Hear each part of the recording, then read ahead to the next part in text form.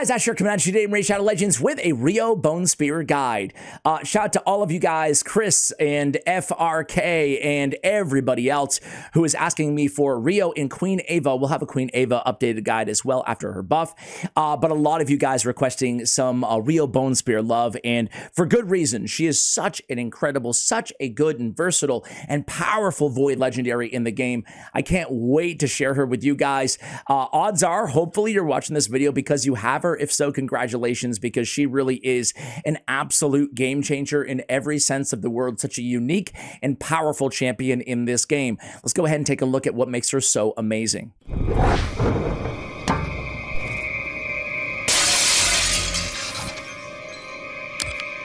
Okay, guys, so as we mentioned, Riho Bonespear is a Void legendary Shadowkin champion, and she looks so freaking cool. I guess she's got, well, a uh, a Bone Spear, I guess I want to say, probably as a weapon here. Emanates kind of this, this uh, orange, red, uh, whatever it is, uh, flame, I guess, right? Uh, overall, I don't know if that's a body tattoo or what is going on here, but she looks freaking amazing. Very, very cool aesthetics. I was going to say all the way down to the earrings, but those aren't earrings. They're just... Uh, their uh the horn rings their horn rings. Uh okay so what does she do? First of all her base stats are pretty solid across the board. Nothing blows me away here but everything is you know it, it's doable right? Her speed is 105 about average for a void legendary maybe slightly above average and everything else. Survivability it's there right? On her absorption uh by the way i should say almost 1200 base attack. That's going to come into play here because for a support champion she can smack. She has a lot of damage on her a1 1 and specifically her A2 ability. More on that in a moment. Absorption, her A1 ability, places a continuous heal, attacks one enemy, places a continuous heal on the ally with the lowest HP for one turn. Also places a weak version continuous heal on all allies with 30% HP or less for one turn. What a really, really solid A1 ability. Obviously, the ally who needs it the most gets the big version of continuous heal. And then everybody else who's below 30% HP, at least they get something. Uh, it's nice for an A1 for sure, right? On the A2, pressure points, a three turn cooldown. Look at all these debuffs. It reminds me kind of a Ramantu A2 ability, right? Uh, it just has like everything and anything you could want on this A2 ability. It places a stun on the target for one turn, as well as a burn, decreased defense, all big versions, weaken, excuse me, decrease attack and decrease crit rate. Uh, everything except for decreased speed is what we're missing there, right? But so many powerful debuffs, so many tier one debuffs, so to speak, all on the same ability with nice multipliers to boot on the A3 ability, Perfect Body. Uh, it has a decent amount of books, five legendary skill tomes into this ability, but they all go right to the cooldown, getting it from a six to a three. She's absolutely a legendary worth booking. These books are going to be valuable and they're going to be important to getting the full utility out of her kit because this on a six turn cooldown, it's not going to cut it. So a full cleanse, then a block debuff for two turns. Is on a three turn cooldown. That's very powerful in its own right. A block debuff for two turns and a cleanse, but you also get this juicy heal heals all allies by 35% of their max HP, and a further 5% for each debuff removed from them. So, not hard to get to a 45% heal. That's insane. Only two debuffs need to be cleansed in order to hit that threshold. Even though that heal is based on their max HP and not her max HP, which would be ideal, it's still a massive heal nonetheless. On the passive, Reflect. This is such a powerful passive as well, guys when receiving any debuffs, instantly transfers them from this a champion to the attacker. Now, I want to focus your attention on the word them. It's not, it is a three turn cooldown, so it only happens one out of every, you know, three of her turns, right? That's the downside. Uh, the upside is it's basically if she's getting, you know, 10 debuffs thrown at her, or maybe two, let's be a little bit more realistic, two debuffs thrown at her, uh, all of them are going to be transferred back onto the attacker. So, for example, for Dragon, all those poisons will go back, and then there'll be a couple turns before she's able to do it again. But keep in mind, will not transfer debuffs that cannot be removed, okay? So there is some cap to that, such as, I don't know, protected bombs. Looking at you, Bommal, right? Increase ally attack and faction crit by 42% on the aura. Not the best aura in the world, but uh, it is what it is. The kit is already absolutely fantastic. And hey, I guess you could use her as an aura lead in Faction Wars if you lacked a better option out there. However, you know, hopefully you have your hands on a Hatatsu or something like that. I'd rather go with the defense aura. So guys, let's get into how we have her geared out? We have her running in triple perception. We get a whopping 120 accuracy plus 15% speed. I love triple perception on Riho Bonespear, basically for anywhere in the game. Now, in Hydra Clan Boss, some people do run her on a Relentless set, uh, basically to get the A3 down to a two turn cooldown, uh, where we have block debuffs all the time and more cleanses and more heals coming down for your team. That being said, I prefer just triple perception. That way we can get the speed and the accuracy, the two main stats that we need on this champion, obviously factoring in survivability as well. So total stats on her are going to be 68k on the HP, 4600 on the defense, 289, 96, 234 on the crit rate, crit damage, and 522 on the accuracy. So the way I tackle building Riho Bonespear is first and foremost, I want her with enough accuracy to land all of the juicy debuffs on that A2 ability. After that, I want her going as fast as possible because of that A1 continuous heals and then everything else that she's obviously doing that is incredibly OP and amazing, right? So accuracy, speed, and then after that, I'm dividing my interest in between focusing on making sure she stays alive. Obviously, she's going to do no good to us if she's dead, right? After that, as, sure, as soon as I'm aware or, or good that she's going to stay alive, I can go ahead and start allocating uh, my gear towards crit rate, crit damage to get some damage out of this champion as well. And let me tell you, she can deal some damage for a support champion. So in terms of the artifacts that we do have on her, we have accuracy, I think. Uh, actually, we have HP on the banner. That's the nice thing having triple perception or triple accuracy gear on a champion allows you to sometimes get away with going HP or defense or survivability attack, whatever you're looking for on your banner, right? For the majority of you guys, I would consider accuracy on the banner if you need it to get to that threshold that you need for the whatever content that you're tackling in the game. Uh, I have crit damage on the amulet and I have defense on the ring. I'm not loving this ring, this five star ring on Riho Bonespear here, but we'll run with it. We, we have it, right? Uh, I do have her fully empowered. I apologize. I, you know, I, I have to cover all the champions the way that I have them. So uh, maybe a bit realistic in terms of the stats, because keep in mind, I do like to call it out, right? When we do have these insane builds, uh, we're getting a lot of these stats from Blessing and Empowerment. So about 15K of this HP is from those two factors. So keep that in mind. She'd be a little bit over 50K uh, without a any empowerment or without a blessing on her. Uh, that being said, though, I still wouldn't change the build up that much regarding these stats. You know, I'd, I'd be throwing away a lot, a significant amount, 155 or so of accuracy, but I'd still run her with 400 or so. That would still suffice. Uh, same thing with the speed. I'm, I'm gaining uh, quite a bit between between masteries, faction guardians, and empowerment. I'm getting 27 speed there, but I would still run her the exact same way without any of these extra blessing, empowerment, and faction Guardian and Mastery stats here. All right, speed on the boots. I would want to, actually, I'll do it right now. Uh, trying to use my Chaos Dust primarily for speed boots to try to get speed as a substat. I'm not too crazy though. I'm not going to waste all my dust on one piece. If we can get lucky, and we don't that time. Ah, I hate that it has an escalating cost, man. You know, I don't want to blow all my dust in one shebang here in one guide. Uh, I do have defense percentage on the chest. I think I would probably go with uh, HP percentage uh, given my druthers, but it's very close. Want to make sure you're not totally neglecting either HP or defense on this champion. I do have crit rate on the gauntlets. Again, if I needed to keep her alive, I would absolutely go with HP percentage or defense percentage instead. These are pretty nice because I get some HP in the substats as well as defense percentage on the ascension stats. So still that survivability that we're looking for there. And then I'm just looking for speed essentially and accuracy on my substats in general on the rest of my weapons, my helmet, and my shield. Uh, in terms of blessings, uh, she's made for Brimstone, or should I say Brimstone is made for Riho Bonespear, right? Uh, she already has a lot of accuracy. So even though I don't have her, you know, fully awakened at six star, she still has a 60% chance of placing a protected smite, which is really, really powerful, uh, let let alone all the stats that we get from a uh, from from the awakening, right? So uh, other options for Riho Bonespear, if you were gonna use her in PvP in the arena, she's not known to like shine in PvP. However, she can absolutely be formidable in PvP as well with that nice A3, get the cleanse, the block debuff, similar to do a Pythion minus the revival, you know what I'm saying, on the A2.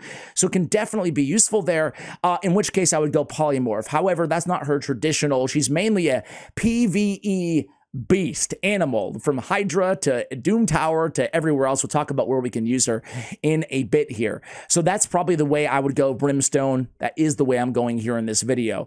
Uh, in terms of masteries, we went pretty basic here. We went down the left-hand side. We picked up a War Master.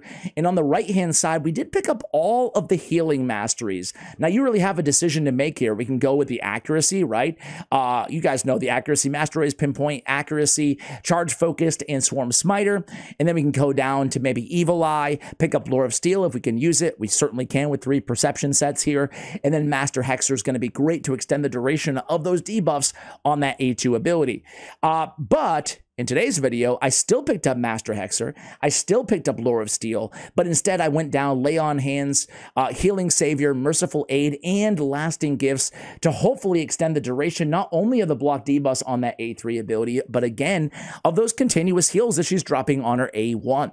Uh, so those that's the way that I chose to uh, build her mastery-wise. Let's take a quick look at hellhades.com. They give her a 4.5 overall score, which is incredibly good, which it should be. Uh, and look at these scores, guys. I mean, you can make a case that she's a five out of five.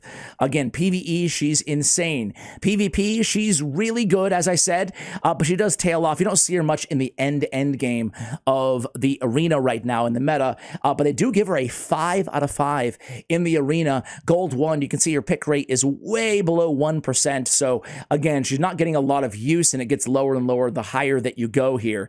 Barely any use at the top of live arena. Uh, but uh, again, we already talked about it. In, in arena progression, Great Hall farming absolutely can use her as a cleanser. Uh, but look at all these key areas that she's good in regular clan boss, Hydra clan boss, Sand Devil 5 out of 5, Shogun 5 out of 5. Shogun, need those cleansers. She's got you covered. I used her in both Sand Devil and Shogun on both of my main teams. Dragon, Ice Golem, Dragon to me, she's a 5 out of 5. Spider, I mean, you name it, you can use her almost everywhere in the game. One of the raid's most versatile champions because she has so many essential debuffs and such a good and powerful A3 ability. She's a 4.3 multiplier on her A1 and a 5.8 multiplier on her A2 ability. That is some serious damage there. Uh, for general PvE, they recommend a similar loadout that I have in terms of masteries. Uh, they did go in and they grabbed, uh, a, well, they went with the accuracy instead of the healing, as we just spoke about. For Clan Boss, they go down the uh, the defense tree instead of the support, and they pick up Retribution and Deterrence. Uh, where else do they go? Cleanser, Healer. They go down with timely intervention. If you're just looking for a, a bomb healer for your team and you don't care about any damage, which in my opinion, you're probably throwing away an often overlooked part of her kit if you don't, you know, go for any damage. Uh, but that said, you could still build her with 100% crit rate and go with a cleanser slash healer loadout like this. Uh, I like this as well, right? You get all the healing masteries, come in again with that lasting gifts, and then go to timely intervention so she can come in, swoop in, and heal and cleanse when your allies need it the most. Uh, all right, guys, let's go ahead and show her in action here. Uh, I don't really have an arena team kind of ready uh, for her right now or with her right now, but let's go ahead and just throw her on. Uh, all of my teams right now are pretty end gamey, I would say. Uh, now let's go with this squad here. I like this. I like this blender comp, but uh, she doesn't really fit on a blender comp either, right?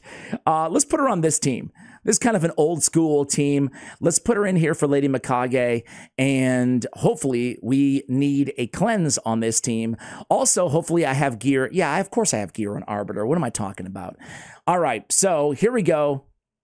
We have Xena as our nuker here in Stoneskin we're going to be able to come in and CC the enemy team. Now, the cool thing is, is from a support champion who we're looking at from, for cleanses and, and the whole nine here, we can also, hey, we don't need to use the cleanse or the heal, or, you know, we could obviously use the block debuffs. They have Bad-el-Kazar. Uh, but instead, we can come in and look at this. We have a sheep, we have a stun, we have a stun. We might as well stun the only buddy on uh, the only person on their team who's already or not CC'd, Bad-el-Kazar. But hey, we went and we killed him instead because she hits that hard with that A2. As I told you guys, man, she can smack with that A2, and you just saw it right there. Uh, 90k damage on Bad-el-Kazar. Now, obviously, I don't know the build of Bad-el-Kazar on this particular team, but I'm telling you guys, she can really smack with it. So now she can come in with the block debuffs, and we're pretty much good to go here. Again, that was her A1 hitting for 32k on Mountain King, and uh, we can take down Tyrant here and end this one. Uh, but you can see that's the cool thing about her in the arena. She does so much. So even though, as I mentioned, probably belaboring the point here, but as I mentioned, she's not like super, super ultra end game, but boy, she can serve like two important roles, some CC, some heals, cleanses, block debuffs, uh, all in one champion on your team. And I love those type of champions in this game. I talk about all the time. What am I looking out for? First and foremost, I'm looking for a champion uh, on my team that ideally can fit the role of two champions. That way, it saves me a spot on my squad to put another nuke or another control champion, uh, whatever I want to on our any particular team. So this is my Sand Devil 25 team, guys. This is my main squad. So real quick, I'll show you the team setup and the speeds on these champions. I have Siphi coming in with the opening for Curse of Longing. Uh, I have Godseeker Neri opening with Quest for Meaning. I have Riho Bonespear opening with Pressure Points and then prioritizing Perfect Body A3. I have New coming in and shutting off the Fury of the King, and I have Kaimar opening and prioritizing his Seal of Magic ability. I also have Kaimar built of the slow uh, build. That way he can come in after Newt goes. So here comes Riho, uh, putting basically, again, every debuff known to man. Uh, I kid a little bit, but it feels that way when you land all of those debuffs in one fell swoop there. Most importantly, uh, the weaken and the decreased defense, right? And obviously that applies not just to Sand Devil, uh, but to basically every every boss in the game, right? We're landing the burn, which is, you know, one of the best damage dealing against boss abilities in the game as well. So here, about 30 seconds or so, uh, we come in and we get the job done. So Riho Bonespear is playing a pivotal role as our debuffer there, uh, and she can cleanse as well with the A3, obviously help keep everybody alive and heal them up if things go wrong uh, against the Sand Devils Necropolis stage 25. Uh, let me go ahead and show you it's crazy because again, she's one of those champions that I could really showcase her pretty much anywhere, right, in the game. Uh, let me show you a Doom Tower boss. It's been a while since we focused on the Frost Spider. So let's go in here with Frost Spider. I'll come back to you guys when we actually get to the Frost Spider. Uh, but she's so good against Frost Spider as she is against almost every boss because she's got the burn and the debuffs for the Frost Spider at the same time. She can come in here and cleanse everybody else on our team, right? So she's serving those dual roles, those dual role capabilities of this champion. I'll be back in just a moment. All right, guys, sorry, it did not take 11 minutes or 12 minutes to get here, by the way. I had a call, so I took that, uh, but we're back. Uh, but yeah, you can see her just doing her thing here, not only the brimstone, but the burn and everything else that she brings to the table, plus the cleanse, right? She's able to come in here and block debuffs and cleanse on our allies, as you just saw right there. So, you know, regardless of the team, whether you're rocking a Lydia and walking Tomb or whoever, Drexthar Bloodtwin, whoever you're using for the Frost Spider, uh, to me, again, I could have picked almost every Doom Tower boss in the game for Riho Bonespear. She's that good, right? But this exemplifies how you can use her debuffs and her A3 and really her, her A1 as well, right? All in conjunction together and uh, just get a ton of versatility, viability out of her everywhere inside the game.